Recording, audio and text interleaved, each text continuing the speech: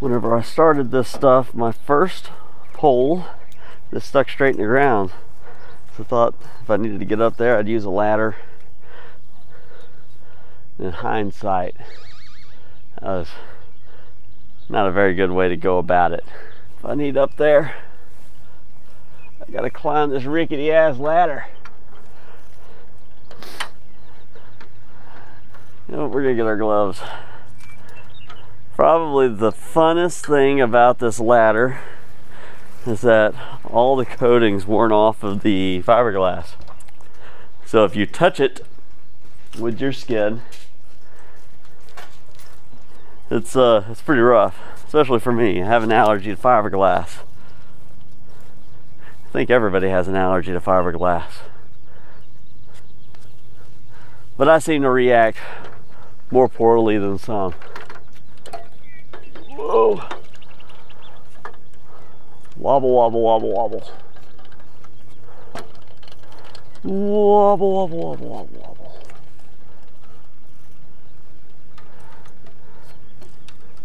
wobble. I've been saying for a long time I'm going to come out here and start working on this uh, 400 and then I keep not because it's windy. You check that out?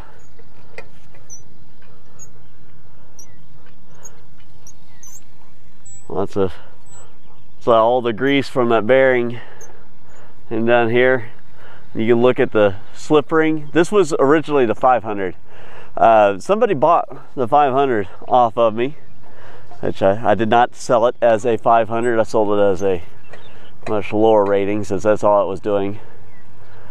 Uh, but uh, you see the wear on the slip ring. Can't feel that through my glove. That's mostly visual, but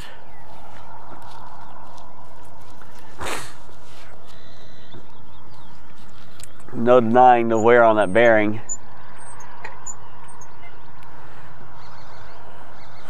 See if we can get a little higher.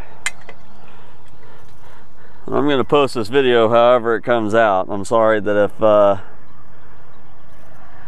my camera's not aiming at anything interesting.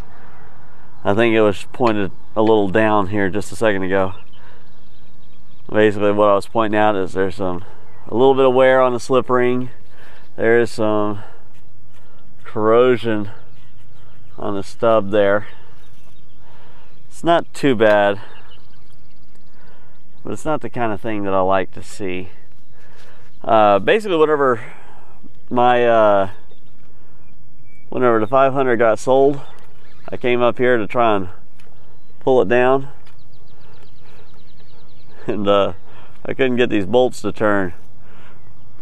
They are right up against the tower in some places, and I remember having to kind of work at it just to get them on.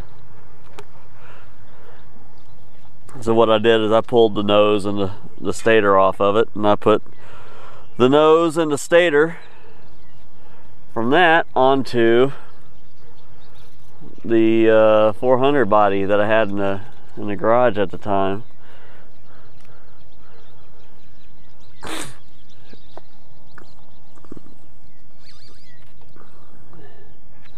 what we're going to do here is connect watch me drop this? Can't put it in that pocket that's got my parts.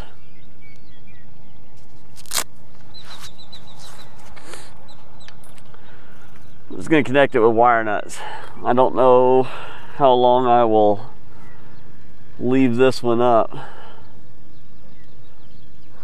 I am half thinking that instead of trying to put up a new tower with every turbine I can come up with, that I will be, uh, I'll maybe move one of the other ones, either the uh, the original 400 over to this one, or maybe I'll put that 700 over here. Move the Istabreeze i1500 to that 20 foot tower or 25 foot tower that I've got going on. I don't know yet. It's all contemplation. Basically, I'm running out of room to put stuff on my shop.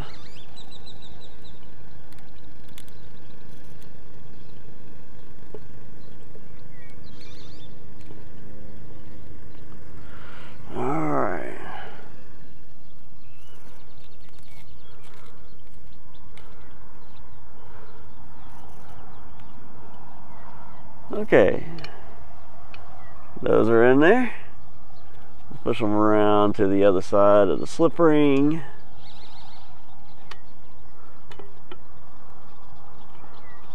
Align the bolts a little bit.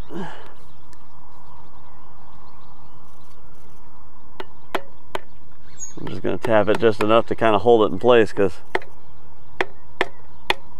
I got to climb back down to get the rotor and the nose cone. And I'll make another trip down to get the blades. It's really not too bad so long as uh, take your time climbing.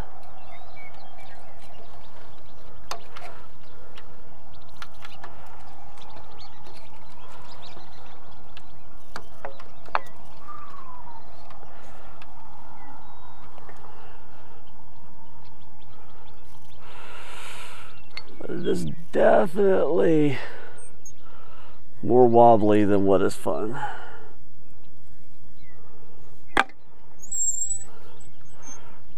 Yeah.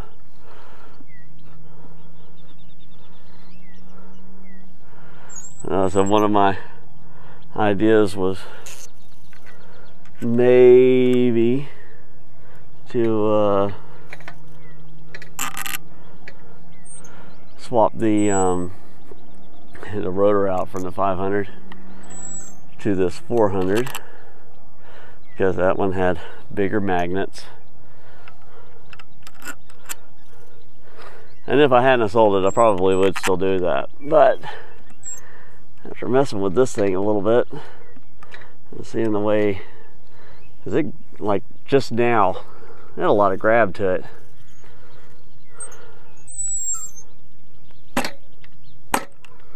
Oh, that's exciting.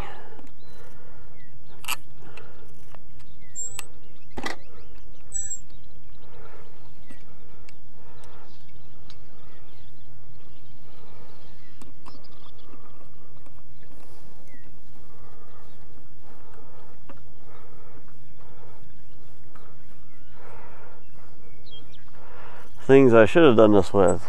Uh, drill.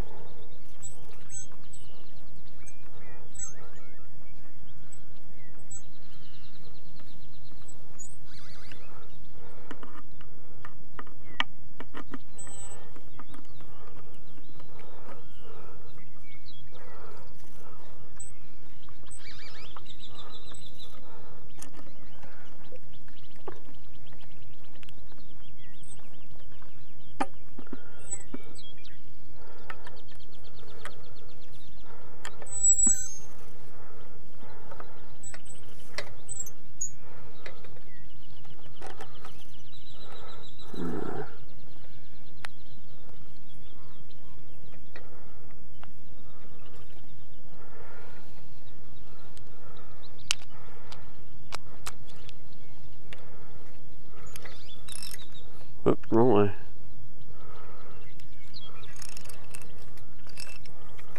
Don't need that extension.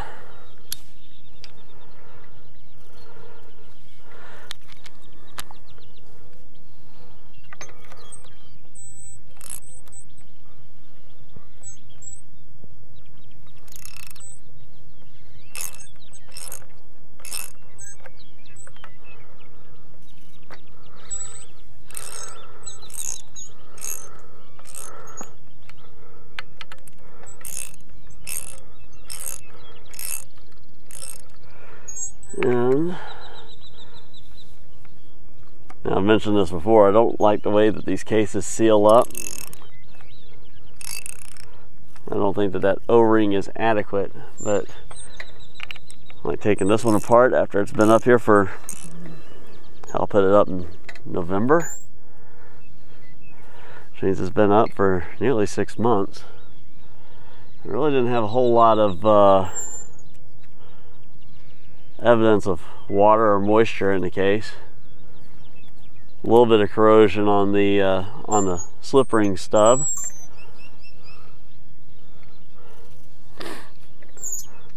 the bearing is uh, obviously going through more drama than the interior is going through. Which is a little surprising. A bear is a pretty good sized bearing.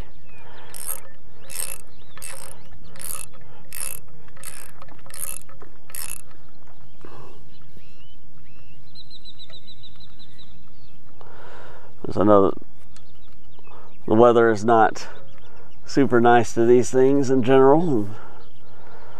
Wind and rain and ice can cause a lot of things to go bad that ought not to. But I did have better expectations for that bearing.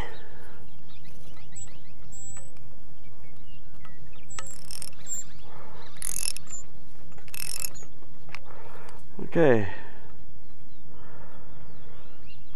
All right. One more trip down. Probably two, I guess. Bring the rotor up.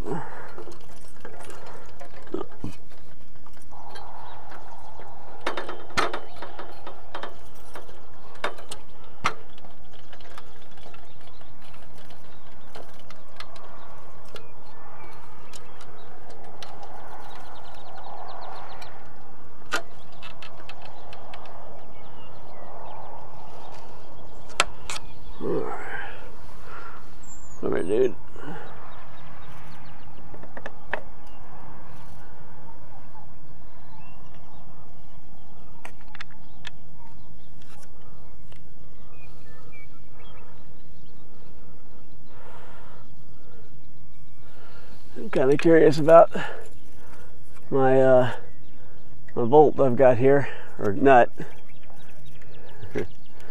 Actually, uh, lost the retaining nut for uh, that came with this thing. Damn.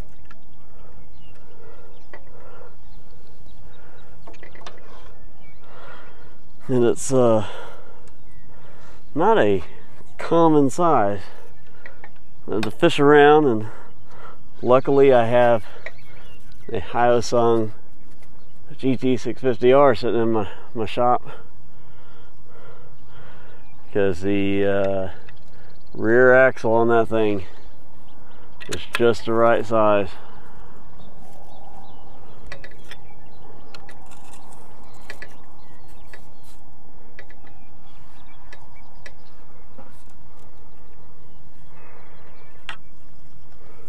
If I can get it to start.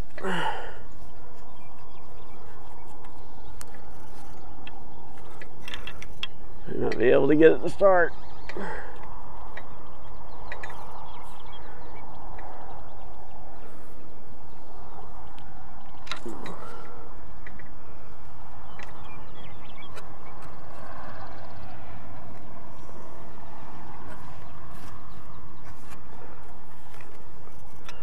May have done it, maybe.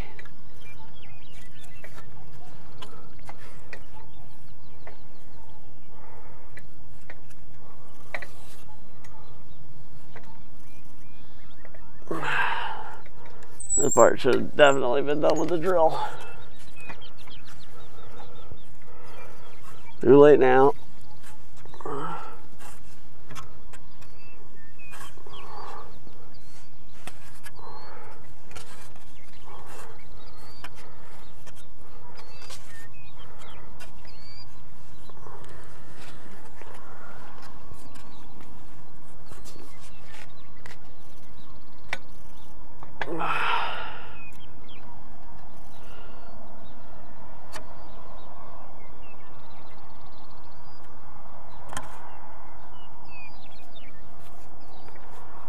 Okay. All right.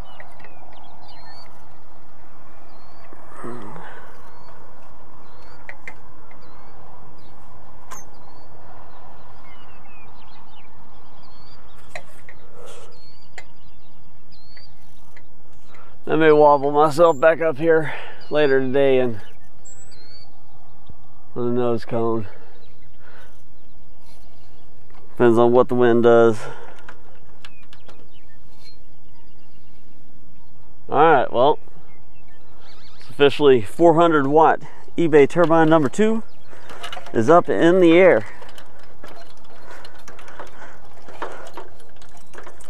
I will post an update, if not later today, maybe tomorrow or the next day. We're supposed to be pretty windy uh, for most of the start of this week. So we'll see what it does. Thanks for watching, guys. If y'all find this at all interesting, please subscribe and get some updates from me. Have a wonderful day.